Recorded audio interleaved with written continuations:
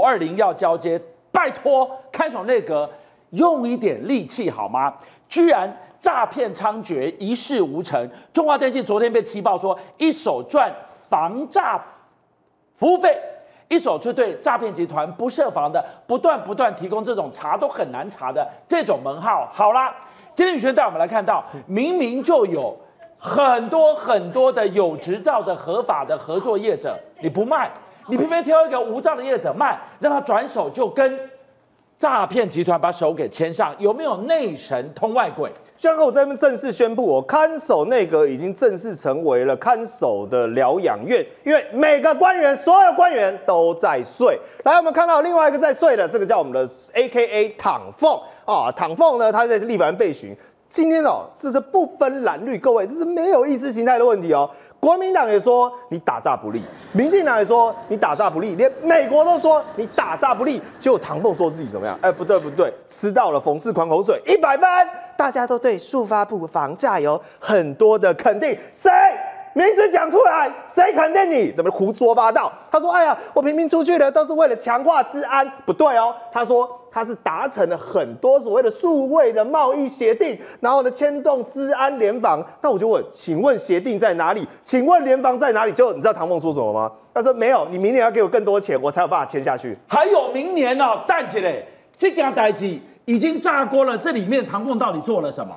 唐凤什么都没做，他还在躺，继续躺，还在行院行政院里面拍沙龙照，然后。委屈的行政院员工，不要再叫员工帮你拍照了，好不好？来跟各位讲这件事情呢，到现在烧还没完。为什么？因为中华电信呢，昨天已经被立法院、被立委们、被记者会踢爆，变成诈骗集团的帮凶，而且玩两手策略，卖这种黑莓卡，卖出去之后自己在弄防诈手面。结果今天他今天讲什么？来来来来来，没关系，中华电信一个一个来回答你。他说魔方漫游卡。只能在境外使用，这句话是错的。为什么？因为大量的已经流入了，流回来，它是跑到中国去，然后再回流来台湾使用嘛。它台湾有分公司嘛，所以这个叫做什么？推诿其实。再来，他说与魔方合作之模式符合现行的法规。这句话也是乱讲，因为魔方公司我们在讲哦，在整个改制之后，它早就已经不符合第二类电信，它没有申请相关的证照，没有相相关执照。但是呢，反正中华电信顾左而言，他说什么？哎呀，因为法规转换啊，双轨啊，当中有问题啊，他不一定要有资格、有执照，我才能跟他合作。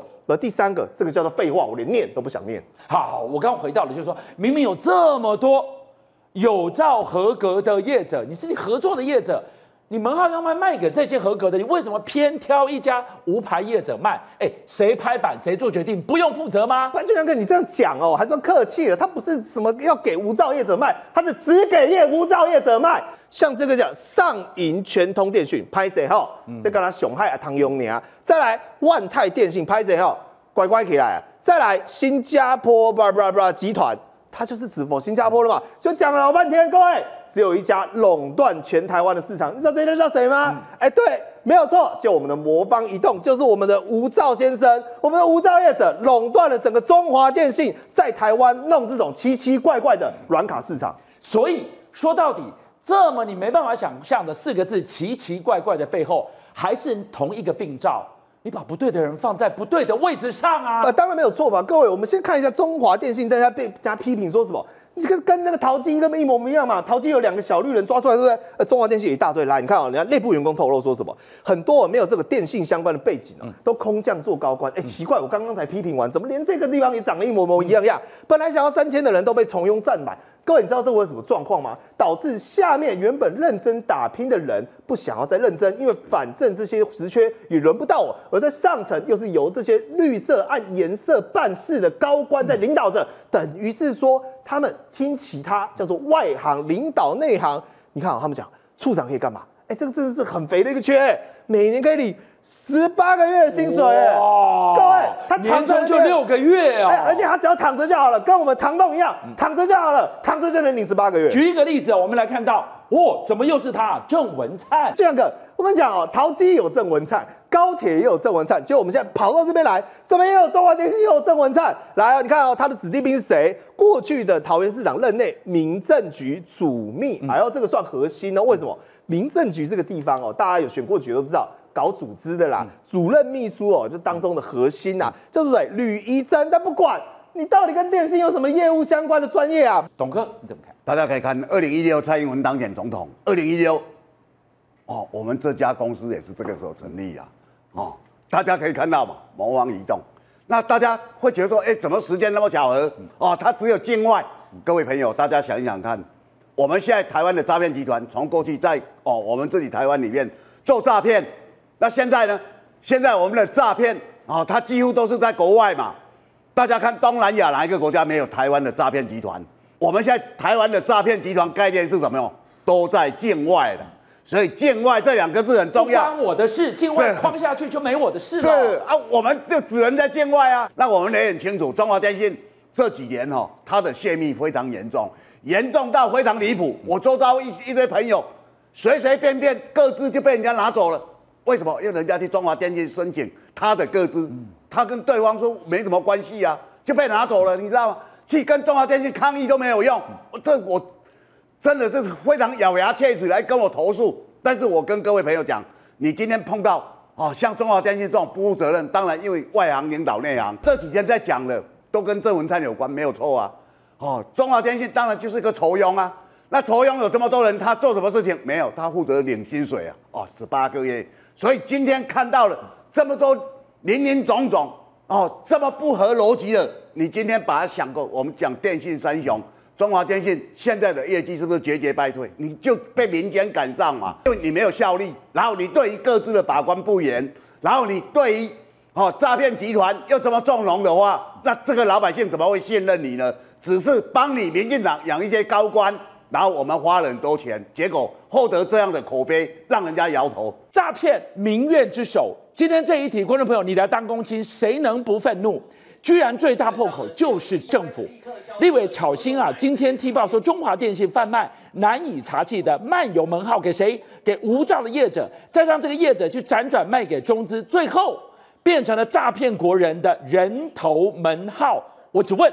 谁纵容这个无良生意，不必有人负责吗？哎，这四个字，中华电信。就像哥我直接给你报告，因为我真的是，真的是让我在佩服，叹为观止。怎么有人这样玩？等于说他说什么玩两手策略？因为他先创造一个需求，这个需求就是有人被诈骗，然后再来解决这个被诈骗如何防范的需求。各位，这是国民党立委踢爆的，他说我们国营企业真的变成诈骗集团帮凶。为什么？因为理由很简单啊，你诈骗集团要打电话给你，俊阳哥，他要做什么？他有门号啊，对，他有门路啊，他有管道啊，对。但是为什么我们总是抓不到他？哦，因为他都是用王八机，呃，王八门号、王八卡，就是无法溯源这种奇怪的这个这个门号打电话来，那我就问你，这个门号哪里来的？哪里来的？哎，中华电信，中华电信卖的，中华电信来的。他们现在讲中华电信哦，跟一个叫做魔方的公司合作，他就提供他说，来来来来来来，各位，关键这三个字。未实名，就是他没有任何名字，哦，就是你找不到人，你也不需要身份证，也不需要登记，而且呢，提供这个叫做软号的东西，结果这个软号的东西跑到哪里去了？来，魔方这公司拿到之后呢，把它卖卖给中资一个叫做卓一的公司，而这家公司呢，百分之五十一是由中方持股，然后他们找把这个门号做什么？还有一张卡，对不对？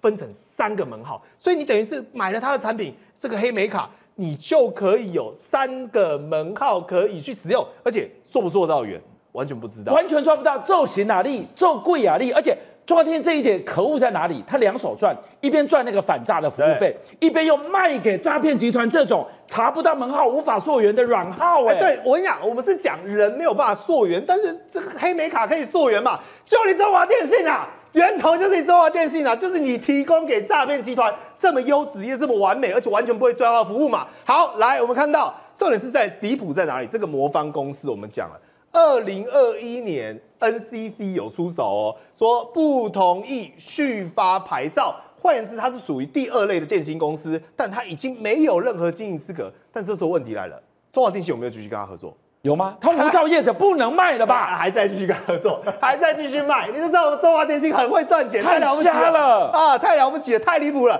就你看啊，继续卖给他，再来卖完之后呢，马上各位不在云林就看到这个案例了嘛？云林最近哦破获一起有这种黑莓卡诈骗。来，我们再跟各位介绍一次，黑莓卡的上游厂商是谁？种花点心、中华电信。来，他说非法破获呢，这个网卡借了多少？两万多张。哎，又是你中华电信。来，不法获利多少钱？六亿元，谁害的？又是你中华电信，太夸张了吧？一张卡，然后不用登记名字，也不用证件，也不用什么都追踪啊，反正找不到，你是找不到人。结果源头赚最多钱的还是中华电信。所以你看，打诈打诈，震天嘎响一直在那边喊打诈，结果最大的破口谁？是国家队耶！你是国营事业，你居然。一手在赚反诈的钱，一手在卖诈骗集团的卡，不，就然跟他们讲的很好听嘛。他们 NCC 跑出来说：“哎呀，我们中华电信也有做很多事情啊，我们已经阻断了来自二十五万个没有实名制的卡哦。”但是来源哪里？香港。他就讲香港了嘛？那我就问你，是不是自己？因为我懂了啦，因为你把你的竞争对手铲除掉了嘛，你现在变独自垄断了嘛，对不对？为什么？你这玩两手，哎，很好笑哎，你一边卖这个黑莓卡，然后一边要用户说：“我们来跟你讲。”很多这种诈骗电话很危险啊，俊强哥，你要注意啊！你手机是不是接到一些奇怪电话？来来来来来，我跟你讲，每个月四十五块就好喽。我们有这个防诈守门员可以防诈，哎，啊，诈骗卡也你提供，防诈也你提供啊，大家还是去被骗，那开我什么玩笑？神鬼都是你！哎，这个不是昨天，这不是上个礼拜，这不是上个月，这存在多久了？简简，你睡着了吗？哎，没有，没办法，我跟你讲，各位。真的不能怪检警，只能说我们中华电信太优秀了。为什么？你看一下嘛，剪掉想要查就好。我问你，IP 查不查不到？查不到嘛，都王八门号嘛。以前有王八机，对不对？用过折掉丢掉，啊不是王八门号，然后一个门号还可以用三次，对不对？它这种中国或香港根本找都找不到。来哦，各位，这个数字我跟你讲，笑死人了，赚大钱了。为什么？去年你知道一到三月哦，来到台湾的这个中国人有多少？三万人。嗯，但我我们去其他国家，居然跟我们要做什么？漫游，漫游嘛，我们要办当地的卡片嘛，对，哦，有这种这种抛弃式的嘛，对不对？用过就算了嘛。那你知道来到台湾办漫游卡的人有多少吗？多少？哎，不多啦，大概这个八九百万而已啦，八百万八九百。怎么会有这么这么大的事？哎，才来三万人，你一个人是要用几张卡啦？哎，对嘛，怎么会有八百多万多张卡啦？所以这很显而易见嘛。谁发大财？中华电信发大财。那谁在诈骗？就是你中华电信当帮凶嘛？你骗谁啊？三万人来，有八百多万个门号，是谁啊？哎，各位，你知道这比例是什么吗？来的每个都是宝可梦啊，北一个人要带两百多只手机，然后在那抓宝可梦，开我什么玩笑？不要在那骗人的啦！而且更离谱的是什么？哎，他有所谓的治安防护调查哦，就现在发现一件事情，我们的这个国安机密哦。全部都被泄露，而且这个泄露来源是哪里？中华电信，又是中华电信。对对对，我不好意思，我跟我今天可能讲了五十遍中华电信，它有七千多笔资料都外泄，而且最重要的是什么？因为中华电信它是电缆，它是网络，它涉及到所有每个机密的地方都要用到它，包括外交部、国军、海巡署都被丢到暗网上去卖。而最可怕的是什么？连总统府对面官邸的电路图都被掌握。我就问。让你中华电信发大财，难不成连台湾中华民国的国安全部都要被卖掉？委员，黑心钱赚着爽歪歪，纵容这样的无良生意，不必有人负责吗？刚才啊，张宇先讲的实在太精彩、太生动了，让我感觉到说，哇，原来台湾钱淹脚目都淹到中华电信身上去了，两边都要赚啊，而且两边都要捞，他才不管你外溢效应说有多少流到这个啊海外的诈骗集团。搞不好都是台湾的这个诈骗黑道组织的一条龙服务啊！我也开始怀疑那个中资公司搞不好就是咱们自家台湾的诈骗集团延伸行业啊！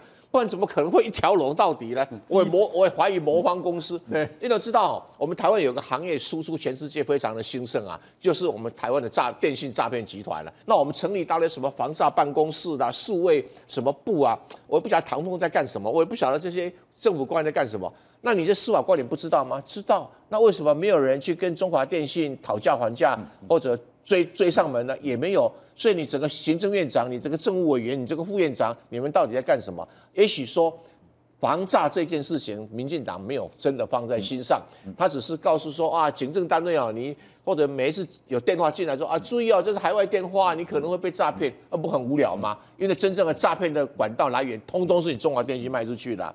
是不是也要同时要追查一下其他民营民营的电信厂商有没有类似的问题，把台湾的电信诈骗集团发源地的恶名洗刷掉吧？